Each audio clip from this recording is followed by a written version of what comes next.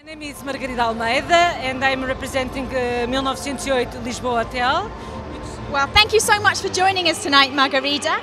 And a big congratulations because Lisboa has won Portugal's leading lifestyle hotel. Quite the accolade.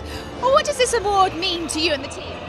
Well, it's a, a recognition of the work we have been done. Uh, we have uh, uh, doing an effort to open this hotel this year. It we open in February, and it is um, a, a, building of a, a new a nouveau art. So uh, it, it, was a building uh, uh, of the beginning of the 20th century, 1908. That's the reason the name of the hotel is uh, 1908 in, in Portuguese. And uh, what, what our aim is to bring uh, to this new part of the city, Lisbon, um, the, the lifestyle that Lisbon has to give to the, our guests, to our international guests for the, the tourism, but also for the Portuguese.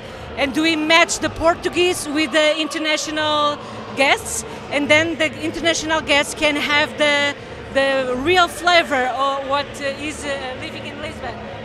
Absolutely. And do you think you're going to be able to use this award to, to market the property going forward? Yes, absolutely. This award is very important for us because it, as I said, it is a recognition of the work we have been done. And Lisbon is a, a huge hub in Europe and we want to, to match that with our, our concept and with our hotel.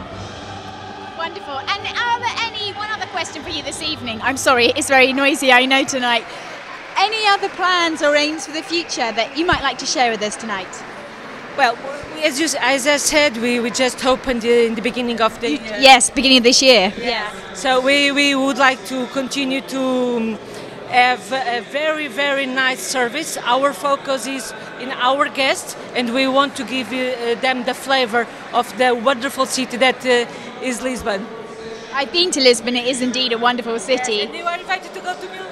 Well, I might just have to I might just have to take you up on that offer. Okay. Well, listen, we wish you couldn't have gotten off to a better start, so we wish you every continued success. So much. I would like just to share that this award is for all the team. We have been uh, working very hard, so this award is for them.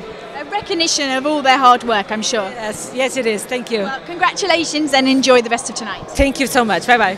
Thank. Thank you. Very much, Margarida. In Portuguese, we said obrigada. Obrigada.